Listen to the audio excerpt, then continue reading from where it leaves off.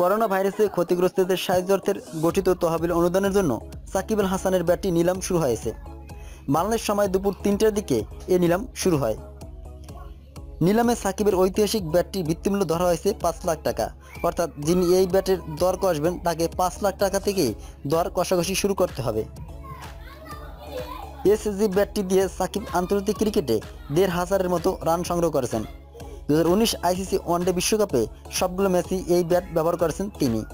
Bat হাতে দুরন্ত নৈপুণ্য প্রদর্শন করা সাকিব আল হাসানের তৃতীয় সর্বোচ্চ রান সংগ্রহ ছিলেন। সাকিবের ব্যাট নিলামে সংযুক্ত হওয়া যাবে অ্যাকশন ফর অ্যাকশন ফেসবুক পেজের মাধ্যমে। ব্যাটটির সর্বনিম্ন মূল্য পাঁচ লাখ টাকা উল্লেখ করে অ্যাকশন অফ অ্যাকশন জানিয়েছে। নিলাম শেষ হবে বুধবার বাইশে এপ্রিল, বাংলাদেশ সময় রাত এগারোটায়। এই সময়ের মধ্যে যিনি সর্বোচ্চ দাম হাঁকাবেন, তিনি এই ব্যাটের মালিকানা পাবেন এবং পরবর্তী চব্বিশ ঘণ্টার মধ্যে তার ব্যাটের অর্থ পরিশোধ করতে হবে। নির্দিষ্ট ফেসবুক পোস্টে কমেন্ট বা পেজের মাধ্যমে ইনবক্সে মেসেঞ্জারের মাধ্যমে নিলামের অংশ নেওয়া যাবে বলে জানিয়েছেন অ্যাকশন ফর অ্যাকশন আর উল্লেখ করা হয়, নির্ধারিত সময় শেষ হওয়ার আগ পর্যন্ত পাওয়া সর্বোচ্চ দর আহ্বানকারীকেই বিজয়ী ঘোষণা করা হবে।